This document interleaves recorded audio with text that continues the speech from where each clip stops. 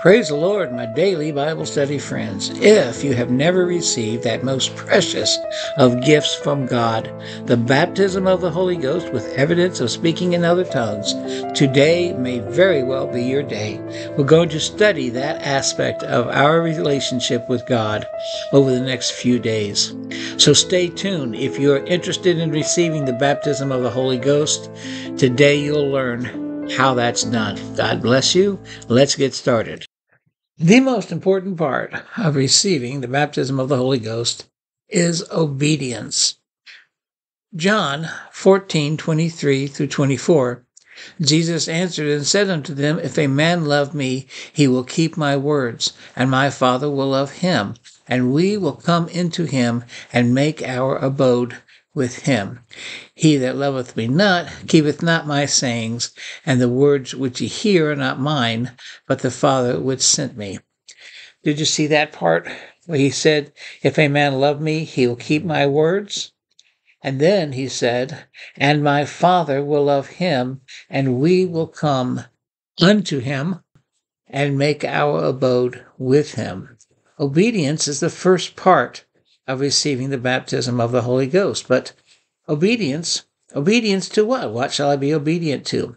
Well, let's have a look at it. Well, this question was asked on the day of Pentecost in Acts 2 37 through 39. And when they heard this, they were pricked in their hearts, and said unto Peter and the rest of the apostles, Men and brethren, what shall we do? Well, there's your question. What shall I do? What shall I be obedient to? Then Peter said unto them, Repent and be baptized, every one of you, in the name of Jesus Christ, for the remission of sins, and you shall receive the gift of the Holy Ghost. Now, watch this. For the promise, here it is a promise. When you repent and when you're baptized in the name of Jesus Christ for the remission of sins, there is a promise out there for you. For the promise is unto you and to your children and to all that are afar off, even as many as the Lord our God shall call. And notice the promise did not stop at the days of the apostles.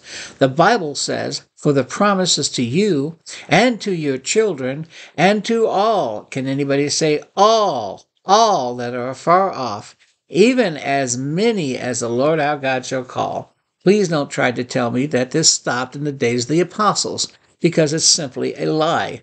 It is available for you today, and it is available for those who are obedient to the scriptures. What shall I do? You shall repent be baptized in the name of Jesus for the remission of those sins, and you will receive, you shall receive the Holy Ghost for the promise. The promise is still out there, folks. All you have to do is repent and believe the gospel, which involves being baptized in the name of Jesus. But you say, How shall I know that I have the baptism of the Holy Ghost? Well, did you know the Bible even gives you the answer to that question? And here it is. In Acts, the 10th chapter, the 44th verse, the Bible says, And while Peter yet spake these words, the Holy Ghost fell on them which heard the word, and they of the circumcision which believed were astonished, as many as came with Peter, because that on the Gentiles also was poured out the gift of the Holy Ghost, for they heard them speak with tongues and magnify God. Amen. How do you know you've got the baptism of the Holy Ghost? Well, this is a sign that you received the Holy Ghost, according to Mark 16 and 16. He that believeth and is baptized shall be saved, he that believeth not shall be damned. And these signs shall follow them that believe. In my name shall they cast out devils, they shall speak with new tongues. Amen. Now, there are other signs, but the sign of receiving the Holy Ghost, just like the apostles saw it when Cornelius' house in Acts the 10th chapter, was they heard them speak with tongues and magnify God. Now, before I give you some practical tips, real practical tips about how to receive the baptism of the Holy Ghost, I want to confirm what I'm about to say in the Bible in 1 Corinthians 14. 1 Corinthians 14, 2, 1 Corinthians 14, 14. 1 Corinthians 14 and 2, For he that speaketh in an unknown tongue speaketh not unto men, but unto God. For no man understandeth him. How is this, or how be it, in the Spirit he speaketh mysteries? And also, Paul wrote 1 Corinthians 14 and 14 Although Paul could have spoken as many as four languages, he also said this For if I pray in an unknown tongue, my spirit prayeth, but my understanding is unfruitful.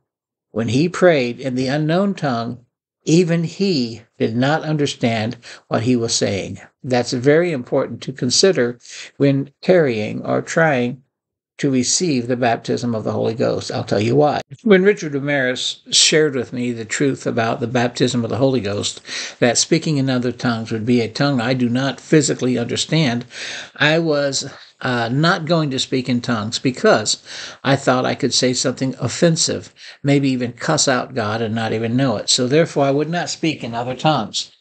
But when he showed me these scriptures, that even the Apostle Paul said, When I pray in an unknown tongue, my spirit prays, but my understanding is unfruitful, I realize that if I'm speaking in an unknown tongue, I'm speaking not unto men, but unto God, even though nobody understands it. So don't be afraid. As a matter of fact, you may begin to praise God and worship Him and say, Jesus, I love you, and those sort of things.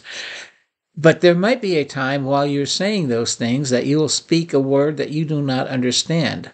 Unfortunately, because of a lack of understanding, many people stop at that moment and uh, gather themselves together and begin on with the I love you, Jesus type of thing.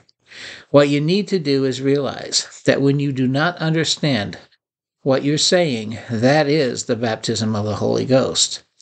In other words, when it sounds odd and strange, even babyish or childlike, when you cannot understand what you're saying, that is the baptism of the Holy Ghost. If you can understand what you're saying when you pray, if you understand every word of what you're saying while you pray, that is not the baptism of the Holy Ghost. I repeat, that's not the baptism of the Holy Ghost. For the Bible says, that the Holy Ghost will be an unknown tongue. He that speaketh unto God speaketh not unto men, but unto God, for no man understandeth him. If I pray in an unknown tongue, it is my spirit that prays, but my understanding is unfruitful. And I pray that you will tell me when you receive the baptism of the Holy Ghost with help from this simple lesson. And I will have more to say about the baptism of the Holy Ghost, so please tune in. Until then, God bless you and keep you, and may God fill each one of you with the baptism of the Holy Ghost so that you will be ready for the second coming of Christ. Amen.